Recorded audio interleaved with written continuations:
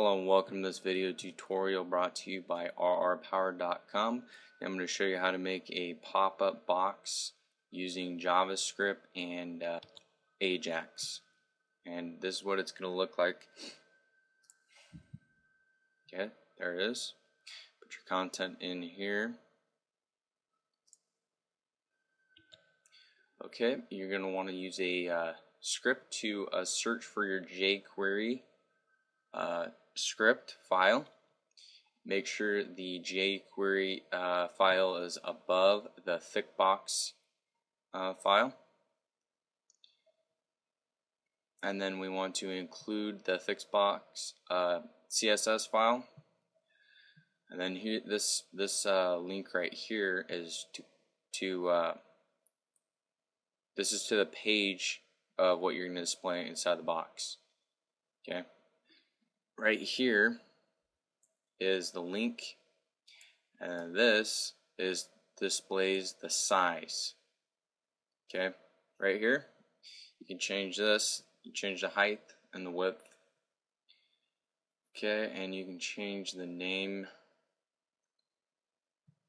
in the source file on the description. It'll show you how you can use a button instead of using text. Uh, as a hyperlink, hypertext link.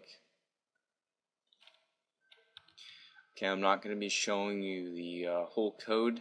I'm going to put that into the description and you can download the code there.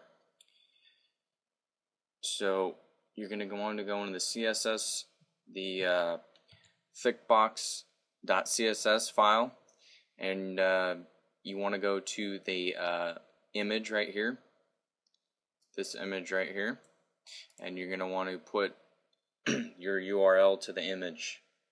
Otherwise it won't work. Okay and now you're going to want to go into thickbox.js file and put the uh, extension to that picture. It's going to be at the top. So uh, so that picture will load Okay, and that's about it.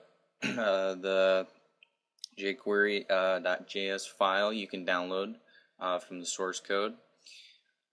And uh, that's, that's how you do it. I uh, hope you like this tutorial. For more uh, tutorials from RR Powered, um, you can subscribe to our channel. Thanks for watching.